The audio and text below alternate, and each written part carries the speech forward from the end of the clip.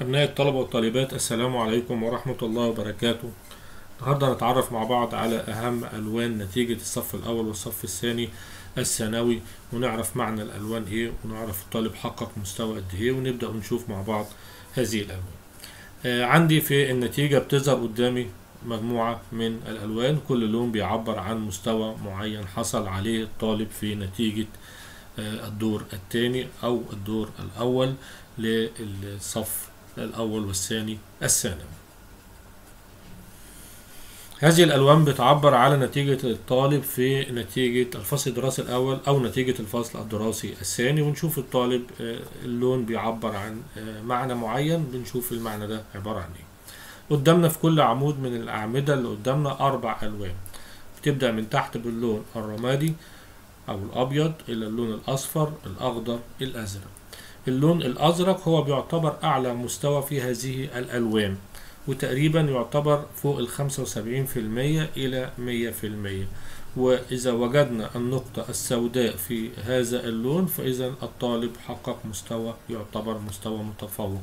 وكلما ارتفعت النقطة زي ما هو باين قدامنا يبقى المستوى أعلى في هذه المادة. لو جينا بصينا مثلا في العمود اللي قدامنا ألاقي هنا. دي مادة اللغة الإنجليزية تمانية وسبعين في المية. يبقى هنا نلاحظ النقطة السوداء في أول اللون الأزرق. طب لو رحنا لعمود النقطة السوداء اللي هي أعلى شوية اللي هي بتوصل لتسعين في المية تقريبا. أما بالنسبة للون الأخضر فهو بيعتبر أقل في المستوى من اللون الأزرق لكن مازال الطالب في مستوى جيد. وبرضه حسب مكان النقطة السوداء على اللون الأخضر يبقى الطالب مستواه بيرتفع كلما ارتفعت هذه النقطة. نيجي بقى على اللون الأصفر واللون الأصفر معناها إن الطالب في مستوى متوسط. مستوى متوسط يعني ناجح زي ما بنقول كده بالعافية.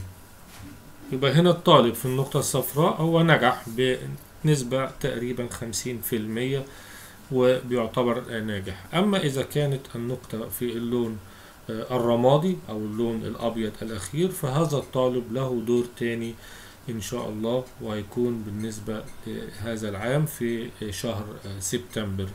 بكده يبقى خدنا فكرة عن الألوان. وعرفنا مستوى الطالب في هذه الألوان. يبقى اللون الأبيض هو دور تاني. اللون الأصفر ناجح بنسبة تقريبا خمسين في المية. أما باقي الألوان الأخضر يعتبر جيد وجيد جدا.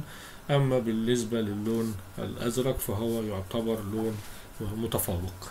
وبكده يبقى شرحنا الألوان وأتمنى أن نكون قدرنا نبسطها لأبنائنا الطلاب. والسلام عليكم ورحمة الله وبركاته.